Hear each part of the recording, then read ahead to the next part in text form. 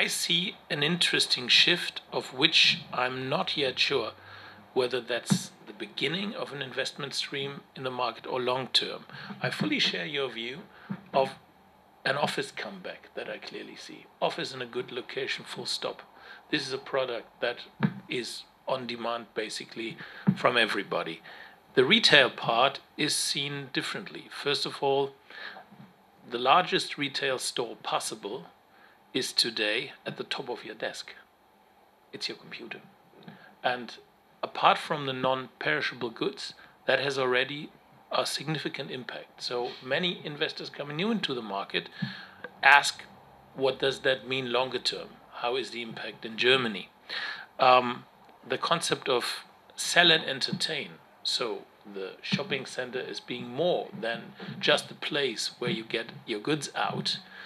It must be in a in a certain way, has to be refurbished in well, in a smaller period of time than it had to be 10 to 15 years ago, is demanding. So um, I would say my feeling currently is that investors, meanwhile, retail, even right after the financial crisis, when there was a deal, went away just like this, just like hotcakes. Uh, today, it's being looked at much more selective and um, with much more an analysis of the place, um, of the location, of well, the structure, of the makeup, of the perspective of refurbishing it in a period of time. And a third tendency, I fully share your view of Germany not being um, a country of the big seven alone, but there was, especially in the years already prior to the financial crisis, a tendency in Germany when clients of myself just tried to trick me, calling me, said, You know what? I'm in Bad Langenarth. You know where that is? Of course, I had no clue where that is. and and, and, and that, that was a very tiny place. And they bought, of course, an Aldi there and thought they bought it at eight percent. They thought they they had just just bought the the jewel out of Germany.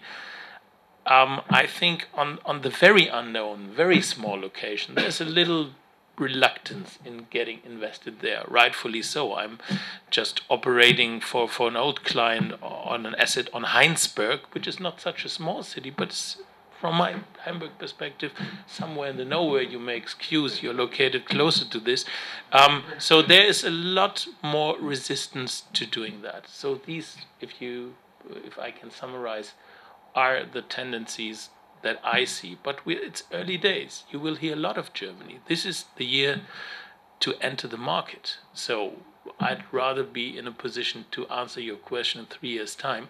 What of the tendency that I see today is sustainable and what is not? But unfortunately, my crystal ball is yours is on repair too, isn't yeah. it? Yeah. Okay.